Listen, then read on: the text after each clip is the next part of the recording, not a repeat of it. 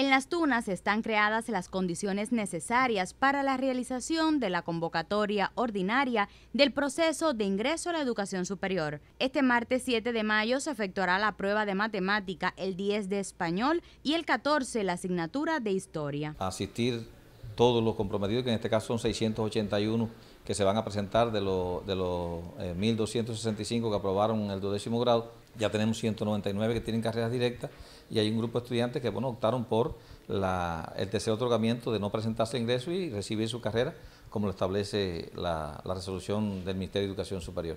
Así que estamos inmersos en, el aseguramiento ya de los últimos detalles para que el proceso transcurra como siempre ha sido, sin ninguna, sin ninguna dificultad y eh, esperamos que los estudiantes al final logren aprobar su estrés de examen de ingreso para que eh, obtengan la carrera deseada y así se, se, cumpla el proyecto de, de, vida que realmente están aspirando estudiantes y familias de nuestra, de nuestra provincia.